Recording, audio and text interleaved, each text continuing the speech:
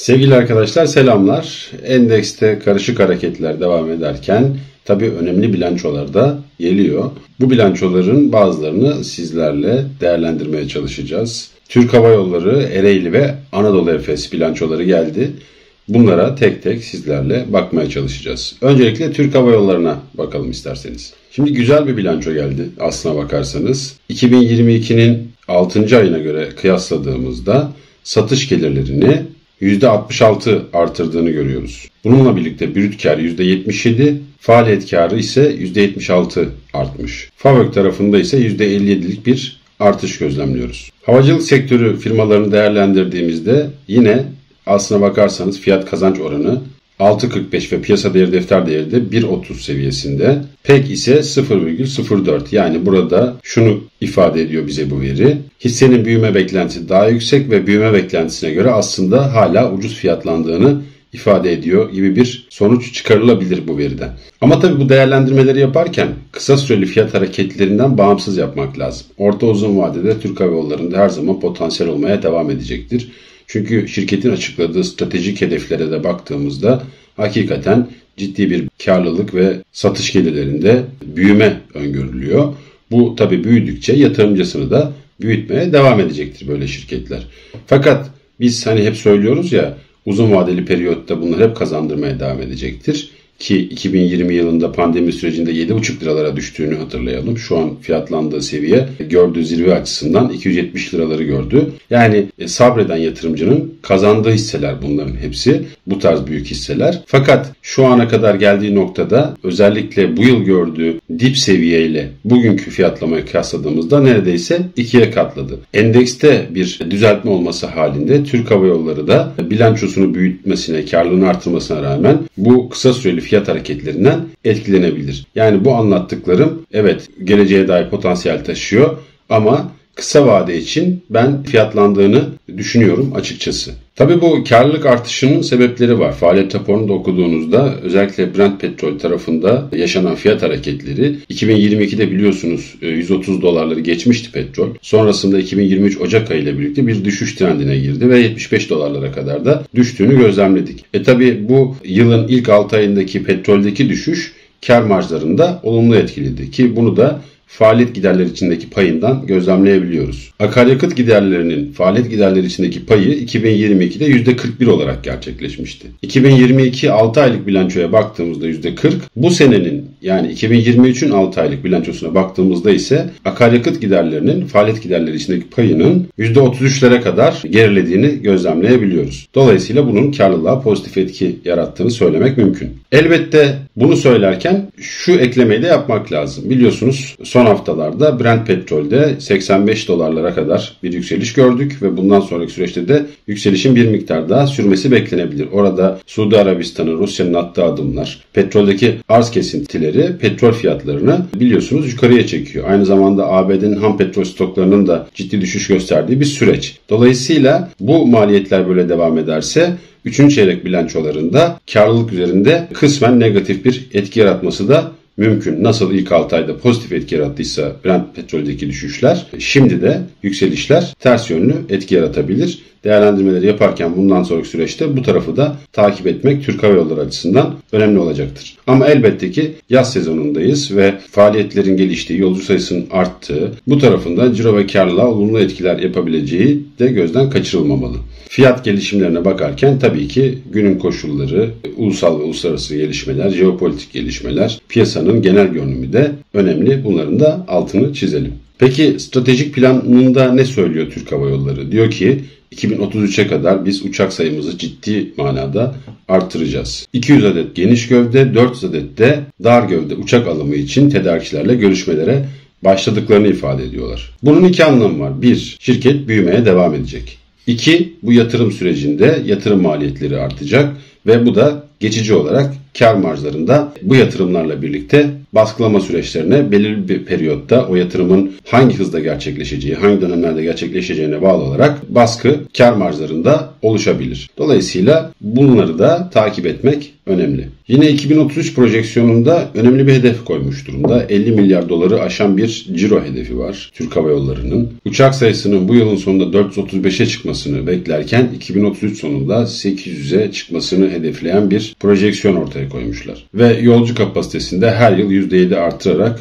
2033 yılında bugün ulaştığı seviyenin iki katı bir taşıma kapasitesine ulaşmayı hedef olarak kendine belirlemiş bir Türk Hava Yolları var karşımızda. Dolayısıyla uzun vadede büyümeye devam edecek ve aynı zamanda yatırımcısı da onunla birlikte büyüyecek. Yine trafik sonuçları ile ilgili bazı bilgiler vereyim sizlere. 2022 ve 2023 kıyasladığımızda yolcu seferleri %20.9 e, seviyesinde artış göstermiş. Yolcu sayısında yine %25.2'lik bir yükseliş var. Uçak sayısını %10 seviyesinde arttırırken koltuk kapasitesi de %11 seviyesinde artış göstermiş. Türk Hava Yolları'nı bu şekilde özet bir analizle sizle paylaştıktan sonra Anadolu Efes bilançosuna geçelim isterseniz. Anadolu Efes'te tabi hem dönem itibariyle, sezon itibariyle iyi bilanço getirmesi beklenen ve bunun da karşılığını bilançosunda veren bir şirket. Şöyle ki satışlarını 2022 6. ayına göre %63 seviyesinde artırdığını görüyoruz. Brüt karı %78 seviyesinde artmış. Esas faaliyet karı %82, FAVÖK %81 ve net kar da %154 seviyesinde artmış. Gerçekten güzel bir bilanço getirdiğini görüyoruz Anadolu Efes'in. Fiyat kazanç oranı 11.60'larda, piyasa değeri defter değeri de 1.90'lar seviyesinde. Fakat burada da yine şu uyarıyı yapmak lazım.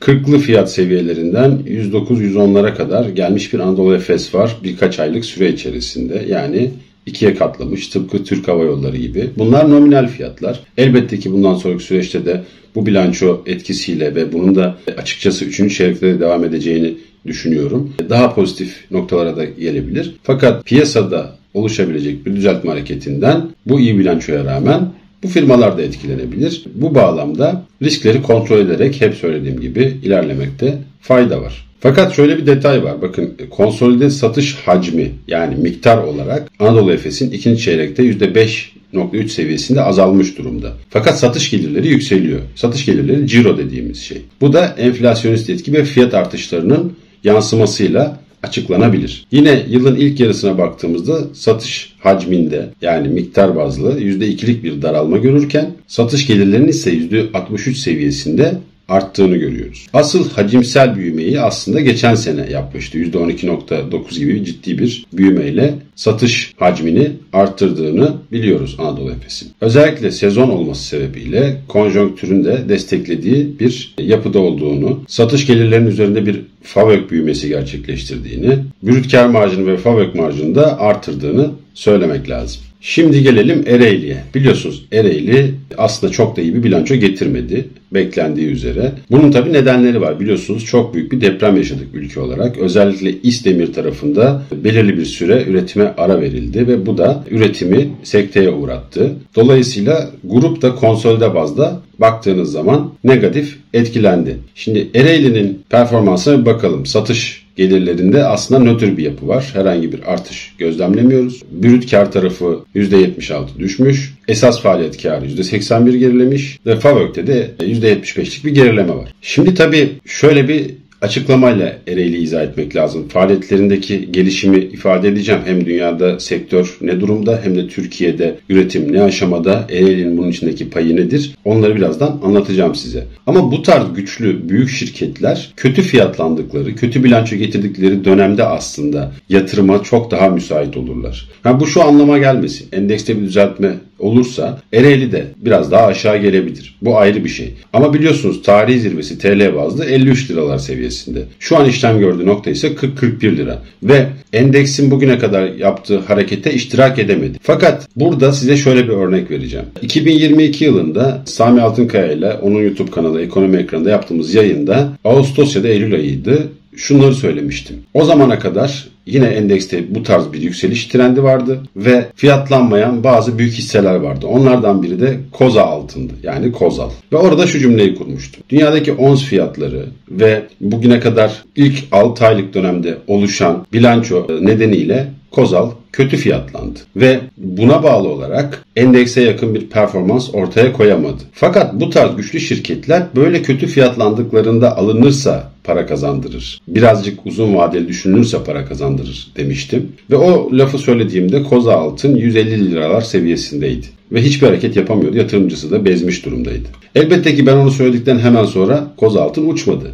Hep söylüyorum ya size bir süreci anlatıyoruz. Düşüşlerde de, yükselişlerde de neden kademeli alınması ve kademeli satılması gerektiğini hep bunun için anlatmaya çalışıyorum. Koz altın biz bu açıklamaları yaptıktan 3-4 ay sonra harekete bir başladı. 700 liraları gördü. Oradan biliyorsunuz bölündü. 20 lira seviyesine düştü. Sonra tekrar bir düzeltme 15-16 lira ve şimdi de işlem gördüğü fiyatlar 28-29 liralarda. Yani iyi şirketler kötü fiyatlandığında alınırsa ve birazcık önümüze vade konur, periyot konursa o zaman para kazanılabiliyor. Ve bu şirketler sonuçta çok değerli şirketler, çok kıymetli şirketler. Belirli dönemlerde zarar açıklayabilirler, faaliyetleri sekteye uğrayabilir. Piyasa fiyatlamaları da hisse bazlı kötü olabilir ama bu battıkları anlamına gelmiyor. Dolayısıyla ben bu tarz şirketlerde böyle bilançolar sonrası ve böyle kötü fiyatlamalar sonrası asıl potansiyel görürüm. Bunun altını çizeyim. Ama tekrar söyleyelim şimdi yanlış anlaşılabiliyor söylediklerimiz. Endeks bir düzeltmeye girerse bundan Ereğli de yine nasibini alabilir. Fakat orta uzun vadeli bakılırsa ve öne bir süreç konursa dünyada bundan sonra işte Fed'in faiz politikasına baktığımızda bir duruma ya da artık son faiz artışı noktasına gelindiğini hesaplarsak e, Çin'in yine özellikle gayrimenkul sektörü e, başta olmak üzere reel sektöre destek paketleri açıkladığı bir süreçteyiz. Evet dünya ekonomisinde sıkıntılar var ve ben bunu zaten hep ifade ediyorum. Ama geçici olarak e, bir takım desteklerle piyasaları e, rahatlatma çabaları çerçevesinde bu sektörde yine ivme kazanabilir belirli bir süre sonra. Şimdi gelelim dünyada ham çelik üretimi sevgili arkadaşlar aslına bakarsanız daralıyor ilk 6 aylık periyoda baktığımızda.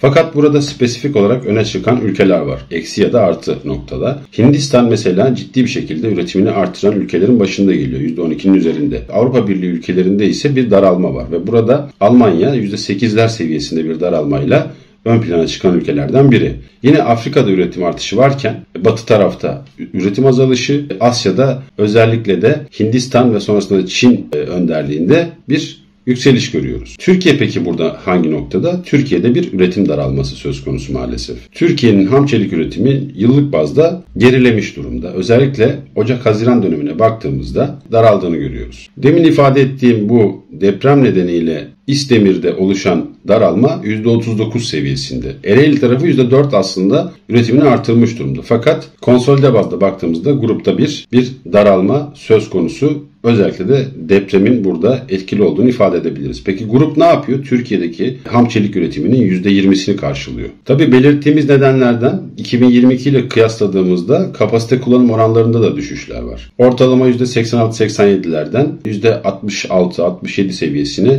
bir gerileme görüyoruz grupta. Fakat ifade ettiğimiz gibi bu tarz şirketler bazı spesifik dönemlerdeki olağanüstü dönemler yaşadı Türkiye. Daralma yaşayabilir. Dünyadaki ekonominin gidişatıyla da çok alakalı, dünya pazarıyla da çok alakalı, sektördeki gelişimlerle de zaten potansiyelinin altında kaldığı bir bilanço dönemi ve o yüzden de kötü fiyatlanan bir hisse performansı görüyoruz. Fakat nasıl ki Anadolu Efes'te Türk Hava Yolları'nda kısa vadede yükseliş potansiyeli açısından o bilançoların fiyatlara yansıdığını düşünüyorsam Ereğli açısından da tersten bakarsak negatif fiyatlamaların fiyatlara yansıdığını düşünüyorum. Ama tekrar hatırlatayım parantez içinde endekste bir gevşeme olursa Ereğli'de de daha fazla alım fırsatları doğabilir. Bunu da dikkatli takip etmek lazım. Umuyorum anlattıklarım sizlere fayda sağlamıştır. Kendinize iyi bakın. Görüşmek üzere.